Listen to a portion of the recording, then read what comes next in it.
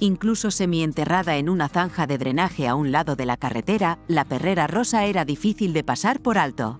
La estructura de madera había sido abandonada en una zona remota rodeada de tierras de cultivo de California.